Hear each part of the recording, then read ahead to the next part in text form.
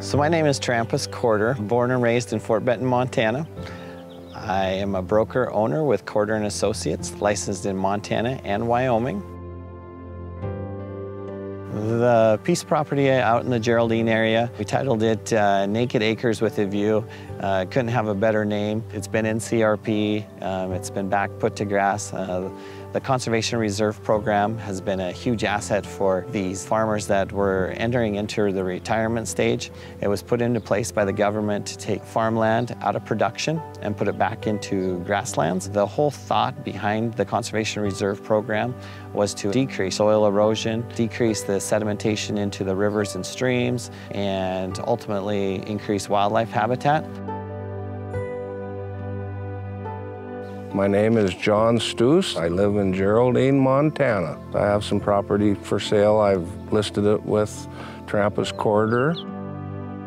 The stuff out west of Geraldine is 369 acres. As far as yields go, all three parcels are basically the same. The stuff out south of Geraldine, that's uh, 320 acres, 155 tillable, the rest in pasture. The stuff out east, there is 550 acres, total acres in that. The history of the property, I'm third generation on part of it, fourth generation on part of it. My family migrated from Germany to Canada and then migrated from Canada to here in the early 20s. And I've had family farm all around this area. The main reason we put it into CRP was because of depressed grain markets. It's good for the wildlife, uh, water conservation. The sharp tails have increased tremendously since we've put it in CRP.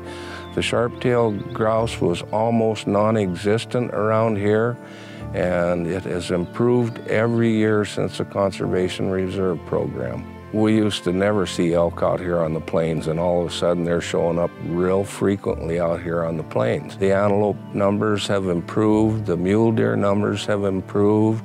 We hardly ever seen a deer this close to Geraldine. I'm only a half mile from Geraldine, and now there's deer running all over.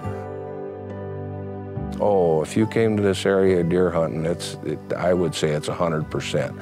It just depends on how picky you are. If you want a trophy buck, they are here, but they are tough to find. But if you're a deer hunter looking for meat, there's no problem getting a deer here. For years and years, uh, an outstanding yield in this area was 50 bushel per acre. Now they're approaching 100 quite frequently. And the production in this area has really, really improved. The reason I picked Trampas Corder is because I've known Trampas all his life. He delves in everything. He has a lot of irons in the fire, and he does an excellent job at whatever he decides to do.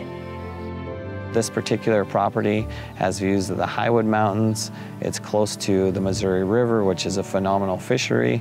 The attributes from a recreational standpoint can't be beat on this property. It's a good way of life. There's no better way of life than farming. It's great for kids, it's great for family. It's, there just isn't nothing better.